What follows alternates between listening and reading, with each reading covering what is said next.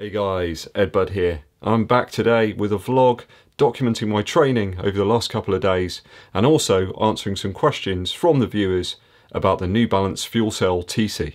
If it's your first time here at my channel, please hit the subscribe button and click the bell for notifications below as to when new videos are launched. So, a new week and some more miles in the Alphafly. I thought, let's start the week off and really treat myself. Let's have an extra Ferrero Rocher and just, you know, really enjoy these shoes while I've got them. Why leave them in the glass case? Six miles in total at six minutes 55 per mile. So put the hammer down again. Although it doesn't really feel like you're doing that in these shoes. They certainly do seem to lower that perceived effort, certainly when you push the pace. There was sparkly conditions out there today. Beautiful sunshine, and fortunately I wasn't pushed to throw myself into any bushes to get out the way of other people who refused to move off the path. I didn't have to dive into the river or anything like that today. It was very quiet. I decided to go out there a little bit earlier and that does seem to make a difference. So with those lack of obstacles, it was easier to get some faster paced miles in. I'll put some information up on the screen as to the splits. The Alphafly were feeling really great with those new Nike racing socks I purchased the other day. I kind of got them at the same time as the Fuel Cell TC and they really work well with this shoe. I got a size 11 to 12.5. I think it's, I don't know if it's large or extra large, I can't quite remember. But they work perfectly with the size 11 Alphafly. Ample toe room width-wise as well, they just felt spot on. I think some people, when these do come out, will prefer a more racing type fit and maybe go down half a size. For me, where I fall between an 11 and an 11 and a half, I think that the 11 is perfect. So read into that what you will. So all the miles on that session in and around my target half marathon pace. Some a little below, some a little above, but I was really happy to see that. There was a bit more left in the tank, could have continued I suppose, but I'm very conscious at the moment to ensure I'm not depleting energy levels too much. I recall running part of that route earlier this year, I think it was the end of January, as part of the park run. You remember when park runs were a thing, right? It's Saturday, it's 9am, it's park run time feels like an age ago already when they were happening. I've already missed that, you know. During that park run, my heart rate got up to what I call a sort of more race level up towards maximum, which is about 185, I think.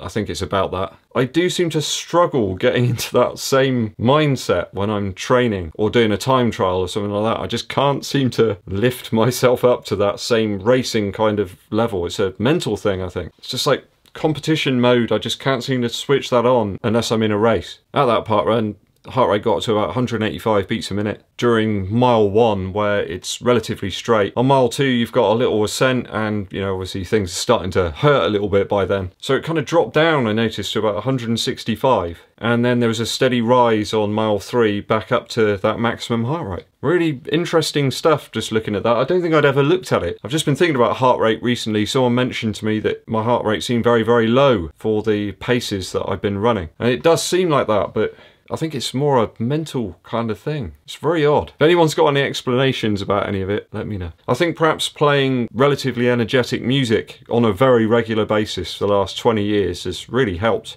in terms of my fitness. I'm able to sort of regulate stress levels of exertion quite well. It's almost like on training runs and stuff, I'm in a sort of practicing mode where I'm at 70 to 80%, and then I only enter that sort of performance mode during a race. Certainly looking at those speeds I achieved in that park run, 6.33, I think it was 6.30 and 6.28 on each of the miles. I'm certainly capable of running faster, but I think that's getting towards uh, my absolute maximum, at the moment anyway. I think a more comparable race to the half marathon target paces that I've been running was that Blackmore Vale half marathon back in February. There was a grade adjusted pace there of 7 minutes 05 over the course of the 13.1 miles, but an average heart rate of only 155, so that's about 10 beats per minute off of my tempo kind of heart rate that I've been running recently. So I think I do need to run a time trial of some distance soon so I can recalculate some of those heart rate zones. I think they're a bit off now. I think my fitness has increased and they're just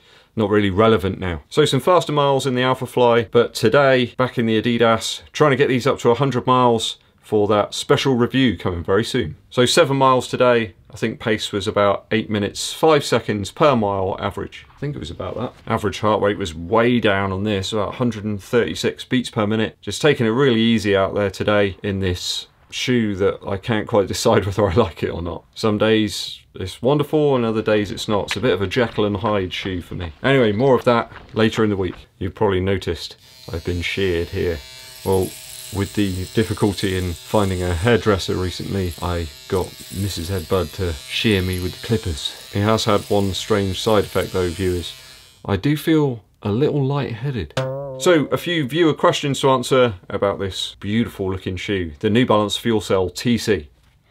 Mm. So Rich K on YouTube has asked about the sizing of the New Balance Fuel Cell TC. He mentioned that he was an 8.5 in Nike shoes but needed a 9 in the New Balance 1080 V10. Rich, I'm very much in the same boat as you. I went up half a size in the New Balance 1080. I wished I'd gone up half a size in the Rebel as well. And I'd say probably the same in this. The half size up for me was perfect. I just find New Balance shoes, they just run a little short. Certainly for me, it could be a combination of perhaps my foot width as well as the length. But yeah, I went up half a size. If that works for you in Nikes, I think it might work for you um, the same as me. Mike Schofield asked about the heel counter on the Fuel Cell TC. Mike said he struggles a little bit with heel counters on shoes. Sometimes he has to cut stuff away at the back here. I know Mo Farah actually had some issues with that a couple of years ago. He used to do a bit of sort of chopping away at the end of his Pegasus shoes to get them to stop rubbing on his Achilles. So Mike, there is a plastic heel counter in here. It ends just kind of where this suede section is here. It kind of stretches round to just past where the N of the New Balance is, around about here. Curves around here. I hope that's clear. You can kind of see it actually better on the camera. It's quite rigid at the back, but obviously where it gets thinner here, it's not quite as pronounced. Certainly not one of the most rigid heel counters that I've encountered. It certainly feels nice though in terms of the suede effect here. I think it makes this shoe one of the beautiful ones. Again over on YouTube, Living the Negative Split asks, how does the midsole of the New Balance Beacon size up against the Fuel Cell TC? So we're pitting the Fuel Cell foam against the fresh foam. I'd suggest the fuel cell was somewhat softer to the touch. Your finger kind of falls into the side of the midsole on this one, like a slightly firm marshmallow. I'd say it's a bit more comparable to Zoom X, this foam in the midsole. It really is, actually. Um, it's probably the most comparable thing I've found to Zoom X. It's close to the Fuel Cell Rebel, certainly in feel, but I think the added stack height here and the carbon plate add quite a bit more squash here. This It's quite a bit more forgiving. The stuff in the beacons are tad firmer. Uh, still lovely and light on foot, really. It's still a very versatile shoe, the Beacon. I think the version 1 probably for most people has been the better of the two. I think for training and for sort of daily use, you can't lose with the Beacon. Perhaps some longer runs you can do in those at lower paces. I think many people now have seen the light of the Beacon. Last up, Ebola Mordi has asked about the lack of the lace loop on the tongue. Nils Mar commented that a lot of people have been using the air ventilation holes here as a sort of makeshift lace loop on the tongue. I have to say I've tried that out. It does seem to work okay. It's not ideal really, but it does work. Rather than get Miss Bud to get a sewing needle out and potentially damage them.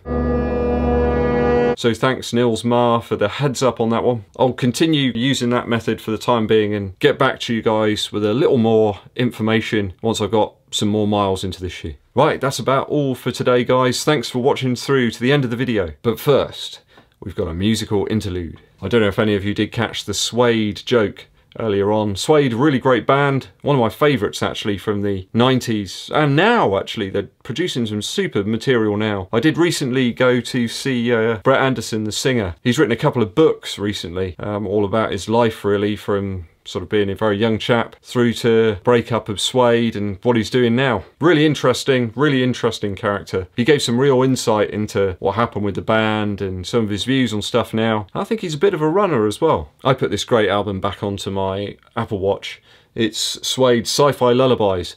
It's a compilation of B-sides and non-album tracks that were released up to about, probably about 98, something like that. There's some brilliant songs on here, which Brett Anderson actually mentioned he wished had been on the original debut Suede album. My Insatiable One, To the Birds, The Big Time, High Rising, The Living Dead, there's some fantastic tunes on here. Do check out this album. It's got some of Suede's best stuff on it. Um, I think sometimes, I think even Brett Anderson mentioned that he felt that they'd put some material onto the albums that wasn't quite as good as their best stuff. They were trying to satisfy record labels, things like that. People wanted three minute pop tunes, but a lot of these things are not three minute pop tunes. They're really interesting compositions, different instrumentation, just really striking tracks. It's probably not the best running music, but hey, check it out anyway if you're a fan of great tunes. It's time for me to depart.